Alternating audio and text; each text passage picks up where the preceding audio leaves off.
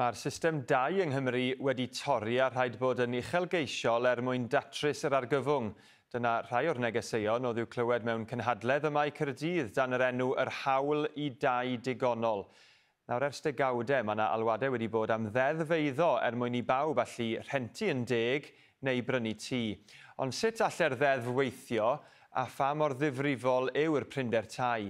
Iwan Griffiths sy'n holi byw mewn tŷ, creu cartre, camau cymdeithasol sy'n profi'n fwy fwy anodd i cymryd yng Nghymru heddi. Yn y dyfodol, dwi'n gobeithio mynd nôl i Ynys Môn, ond yn amlwg oherwydd um, y prisiau'n cynyddu, di rwy'n ddim yn gwybod os fydd modd wneud hynny, a um, ella ddim eisiau symud nôl i fyw adra gyda'n rhieni, ond ella dim, dim, dim gyda dewis yn, yn y pen draw, lle oherwydd yr argyfwng tai. I fi'n aros yn Aberystwyth, neu i fi'n symud nôl gytra i Cwm Gwendreth, ond wedyn sdim tai yng Nghymgwendre sy'n digon fforddiadwy i fi allu brynu neu rentu. Mae'n stori gyfarwydd, ond teimlad gwirioneddol yma heddi bod yna ewyllus gwleidyddol i daclo'r broblem. Y galwadau o'r gynhadledd oedd am ddeddf eiddo gynhwysfawr. Ond beth yw hynny? Yn y sylfaenol, dyn ni eisiau symud tuag at sefyllfa lle mae tai'n cael ei gweld fel asedau cymdeithasol, er lles pawb yn ytrach na ryw nwyddau i'w prynu a gwerthu ar y fachnad agored. O wedyn bod hwnna'n arwen at gamau ymarferol o ran polisi sy'n rhoi pwerau gymunedau datblygu dosetiadau tai i hunain a bod ni'n rheoli'r sector rhentu fel bod mwy o hawliau gan dynantiad a bod ni'n rhentu nhw'n llawer mwy fforddiadwy. Mae'n alwadau felly am yr angen i gyflwyno papur gwyn ar frys, ond beth yn union yw hwnnw? Wel, dyma ddogfen fanwl sy'n nodi syniadau'r Llywodraeth mewn maes polisi penodol. Yn sail i'r hyn fydde yn y pen draw yn datblygu'n ddeddfwriaeth.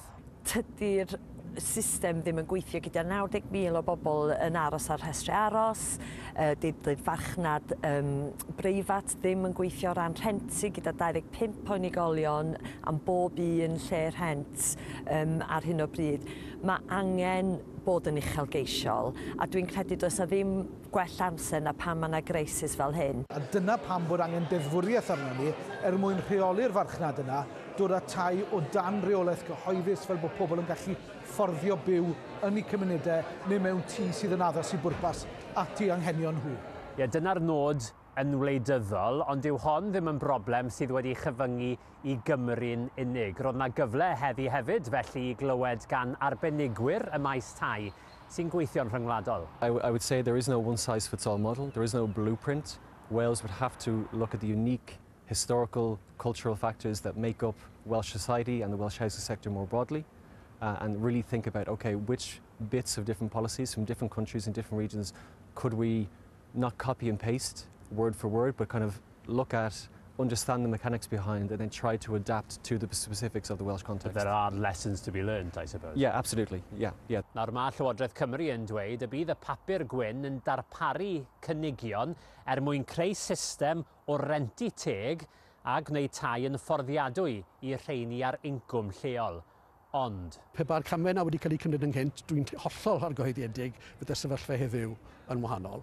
Ond dŵr dan bont yw hynny, mae rhaid ni wynebu'r heriau fel maen nhw heddi, ond yn bwysicach mae rhaid ni gael gweledigaeth ar gyfer system dau llawer gwahanol, llawer tecach, llawer mwy cynhwysol sy'n gwasanaethu anghenion pawb yng Nghymru.